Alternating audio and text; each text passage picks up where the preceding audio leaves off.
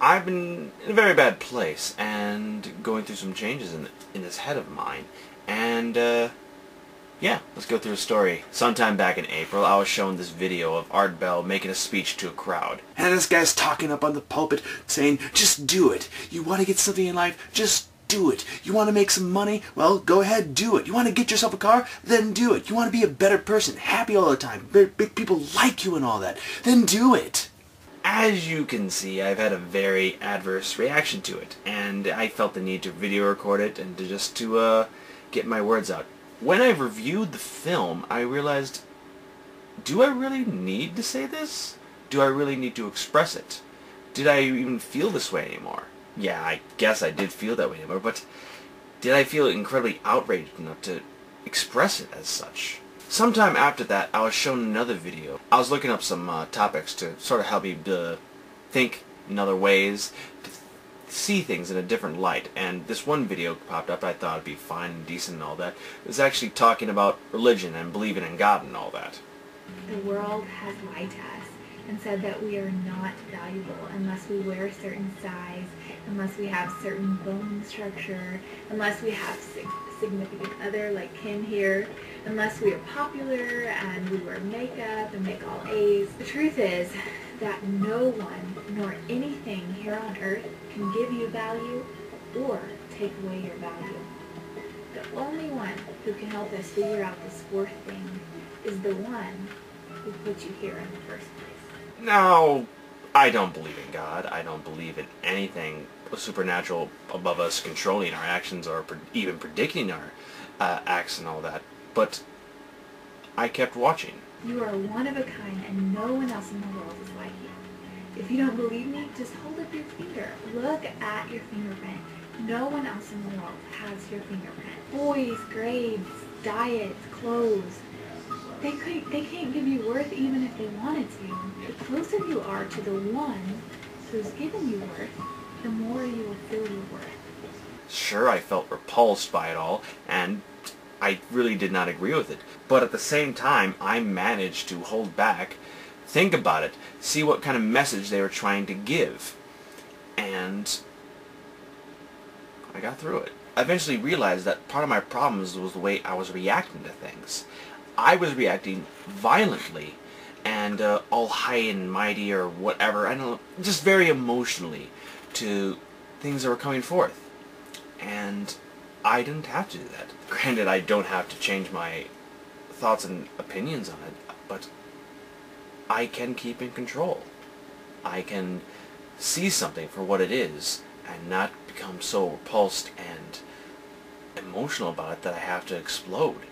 I don't have to dwell on it. I don't have to take it to heart. I don't have to take it personally. It just is what it is. I know this sounds like a silly thing to say because it should just become natural to other people. Yet apparently I did not know this, that I didn't have to react violently. From this point, I could look at other things in my life. How I react to people, how I talk to people, how I see things, and see things for myself. I talked about not being able to have beauty, being able to have anything of worth or decency in this world. And in truth, I can have it.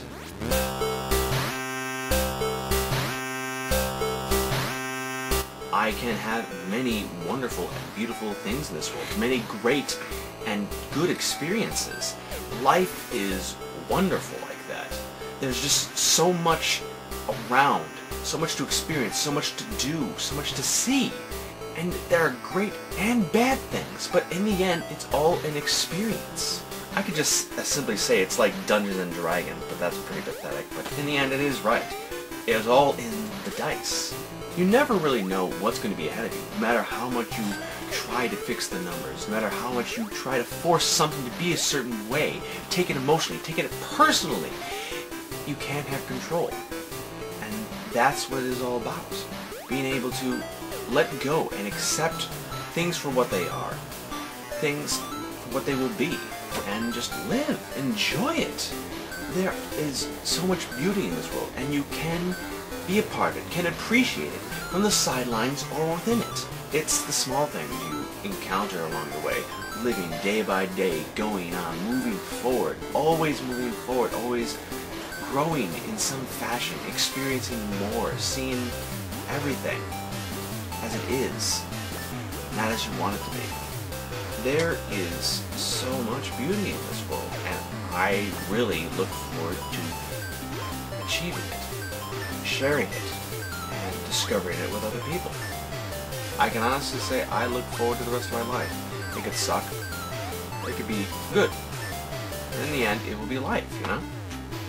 What have you?